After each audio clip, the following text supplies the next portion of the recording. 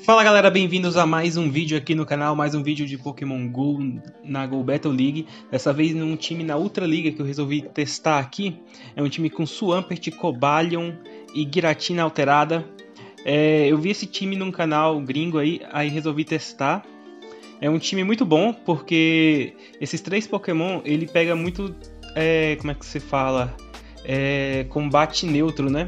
E os três são muito bons em combate neutro, então acontece umas batalhas muito boas.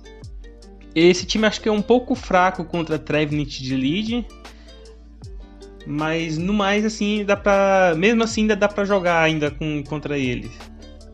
Dá para fazer ainda uma play. Então é isso, eu vou começar aqui as batalhas. É, se você já puder ir deixando um gostei aí no vídeo, um like e se inscrever no canal caso você não seja inscrito. Eu sempre estou trazendo aqui alguns vídeos de Pokémon GO, de PVP. Então é isso, deixa eu começar aqui.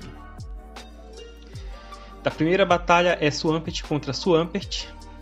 É, o, o IV do meu Swampert, como eu mostrei no começo, ele é bem ruim. Então eu sei que eu vou ganhar a maioria dos CMPs contra outros Swamperts esse Swampert e essa Giratina, eles têm ver ruim porque eu meio que fiz eles há muito tempo atrás. Acho que antes de ter até Go Battle League, era ainda só o... Como é que fala? Era só o PVP mesmo, assim, que você só conseguia batalhar contra amigos e tal, estando perto. Era um esquema desse jeito, assim, mais ou menos. Aí eu entrei com a Giratina, eu acho que eu entrei errado aí. Eu eu tava meio errado aí com, com o posicionamento dos Pokémon e eu mudei pro Cobalion depois. Bom que a Giratina ela sofreu ali um, um, dano. Ah não, agora que eu tô lembrando dessa batalha, foi de propósito, foi pra ela receber ali o. que eu imaginei que o. que o Pidgeot aí já não iria usar o pássaro bravo logo de cara, né? Então foi só pra limpar o, o buff. Que se eu colocasse o Cobalion direto, ele já ia ficar debuffado ali a, a partida inteira. Ele voltou com o Swampert eu acho até que. É, ele deixa. Ele. Ele voltou com o Swampert depois de eu ter derrotado o Pidgeot, né? E, e, e, resolveu usar escudo. Mas aí o Cobalho ele carrega muito rápido. É, eu mudei aí pra Giratina contra um Muck de canto mesmo. É, vamos ver como é que fica esse match aí. O, o, a vantagem desse, dessa batalha contra o canto de Muck resolveu me beitar e não conseguiu me enganar e desistiu da partida. Mas a vantagem contra esse Muck de canto é que o, a Giratina ela consegue dar dano neutro né, com garra sombria. Quando é o Muck de Alola, que é no caso desse, dessa batalha de agora, é resistido. É, o safe switch dele aí é o Obstagoon, que pra mim é um Pokémon muito bom. Ele é um Pokémon bem Core Break, eu ainda não fiz nenhum ainda até hoje. Mas eu devo fazer e trazer algum vídeo aqui em breve, que ele é, realmente é um Pokémon que tem bastante utilidade. Depois de ter dado um hidrocanhão, eu entrei com o Cobalion, porque aí já tá na metade da vida, acho que eu já consigo derrotar aí. Farmei até o final e fiquei com um pouquinho só de vida pra para não dar muito farm para esse Monkey, porque ele, no caso, resiste. Eu acho até que dava pra ter dado um gume de pedra em vez de uma espada sagrada. Eu não ia conseguir chegar em duas espadas sagradas mesmo, ia ter usado gume de pedra. Beleza, eu voltei com o Swampert, tranquilo. É, ele tomou um hidrocanhão. Tomei aí um pulso sombrio e ele tem uma Cresselia de, no back, né? É, eu caí no bait aí, eu achei que já ia, ele não. As pessoas não costumam baitá-lo no primeiro golpe, né? Aí eu fui e sempre costumo usar escudo. E ele já usou escudo também na, na Giratina, ou na Giratina, no, no, na Cresselia. Aí eu resolvi usar o outro escudo, porque imaginei que não ia baitar duas vezes seguidas assim. E aí tá um pouco tranquilo, né? Porque pra derrubar a Giratina tem que ser dois desses golpes aí. E o. A Giratina ela carrega mais rápido. É, nessa vida já dá pra farmar até. Eu tava ligado, voltou com um Muck e como eu tava bem esperto, ele desistiu da partida. Próxima batalha, Swampert contra Cobalion. É um lead favorável pro Swampert, né? Ele entrou com Deoxys de Safe Switch. Eu entrei com a Giratina, que tipo, não tem o que fazer um Deoxys contra uma Giratina. É, aí é um radical até mesmo. É, usei aí o Furtividade das Sombras. Eu prefiro usar a Furtividade da Sombra por causa de, contra pokémons do tipo Aço. Aí ele desistiu da partida. Tem gente que prefere usar Poder Ancestral por causa dos voadores, é, Charizard, etc. Mas eu prefiro isso para poder ter alguma play contra pokémons do tipo Aço.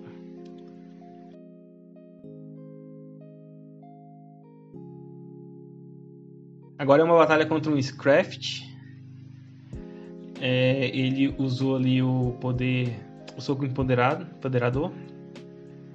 Eu não usei escudo. Dificilmente eu uso um escudo quando eu enfrento um, um Scraft, ainda mais quando é o primeiro ataque dele. Aí beleza, eles vão escudo contra ali o meu ataque. Eu entrei com a Gratina, ele tá já low, já consigo farmar isso aí. E usei o escudo que eu imaginei que ele iria usar um golpe aí. Aí ele veio com a Bomasnow, então eu tô meio ruim nessa batalha aí.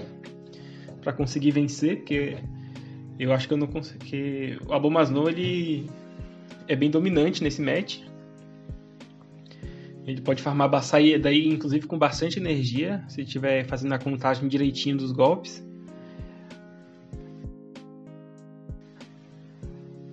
Ó, eu consegui chegar em mais um. Aí eu acho que ele fez a contagem certinha e. Nossa, eu consegui fazer esse. Esse. Esse, esse switch aí. E pegar o golpe no. No Swampert. Nem lembrava disso. É por algum motivo eu votei com a Giratina. Não era pra eu ter feito isso. Aí eu acho que eu fiquei errado mesmo. Entrei com o Cobalion. E ele tinha um Charizard. Ah, já tô lembrando como é que é essa partida. Essa partida aí, infelizmente, ó, eu resolvi nem usar escudo e era um um bait, né? Essa partida dava pra eu ter ganhado, eu acho. Eu, eu tinha que ter usado o escudo nesse segundo, nesse segundo ataque dele.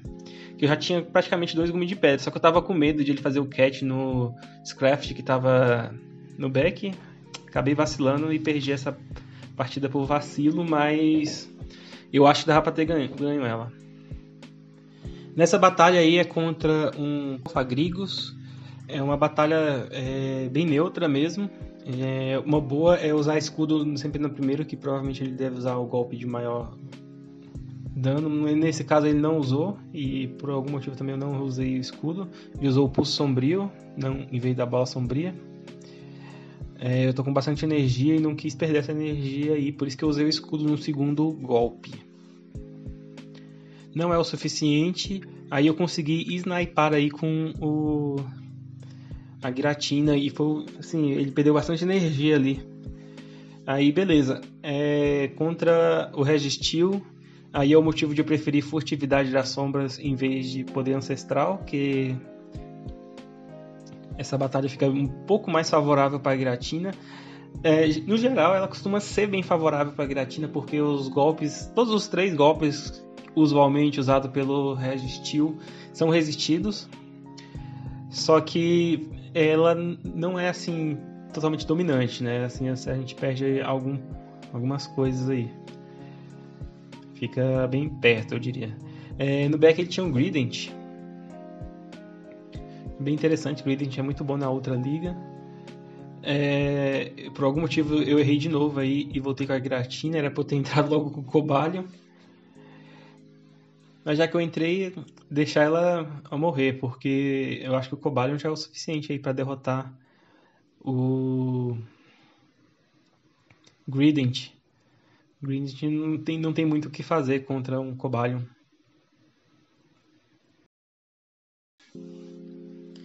Última batalha do vídeo, na verdade já foi o 7 aí, só que aí eu coloquei uma batalha extra porque teve aquela que foi bem rapidão. É, o lead aí é contra um Deoxys, Contra um Deoxys, raramente ele usa escudo no primeiro golpe, então às vezes é bom usar um terremoto. Um terremoto e um hidrocanhão geralmente não é o suficiente para derrotar um Deoxys. Mas aí o que, que aconteceu? Ele usou o golpe, eu imaginei que pudesse ser o impulso psíquico, ele beitou com deslize de pedra. E eu troquei pra Gratina aí pra tentar sniper, só que dessa vez ele conseguiu salvar, provavelmente com um golpe, às vezes até com dois. É, ele entrou aí com um Snorlax sombroso, é um match bem ruim para Giratina quando tá com Garra Sombria. Só que a maioria do, do, das vezes está usando danos é, carregados que são resistidos pela Giratina. Então a pressão mesmo aí tá só no, nas lambidas aí do que é o golpe rápido do Snorlax. Ó, pancada corporal não, não dá dano nenhum praticamente. Aí eu acho que eu vou fazer um, uma troca aí. Eu troquei, voltei pro Swampert e já cheguei usando o hidrocanhão. Usei, ele voltou com o Deoxys, o Deoxys está muito low, eu não sei se eu consigo, se um shot é o suficiente para derrubar. E no back ele tinha aí um Drapion, que é um match muito bom geralmente pro Cobalion, quando não tá usando a Aquacauda. Geralmente é muito bom, mesmo com a Aquacauda. No caso esse aí tá usando a Aquacauda, mas ainda assim é, um, é uma batalha muito boa pro Cobalion, porque resiste aos golpes rápidos é, a cocada é um, é um, golpe bem fraquinho e o melhor golpe a se usar seria o, o mastigada mesmo, só que é resistido. Aí eu tentei fazer um, um switch e pegar um, um golpe dele, só que de qualquer jeito ele usou. E tá bem tranquilo isso aí. Eu acho que eu aguentei mais um. Eu aguento acho que dois aquacadas tranquilamente nessa vida. É, nem usei escudo. Ele voltou com o Deox. No Deox eu usei escudo por algum motivo, não sei. e um, um ataque rápido só foi o suficiente para derrotar. Bom, esses, essas foram as batalhas. Espero que vocês tenham gostado. É um time que eu recomendo assim um, um pouco. Não é perfeito o time, tem a, a fraqueza que nem eu falei para Trevenant, mas é, dá para jogar de boa com ele. Espero que vocês tenham gostado. É, deixa um like no vídeo se você gostou. Se inscreve no canal caso você não seja inscrito. Eu vejo vocês na próxima. Até mais. Falou!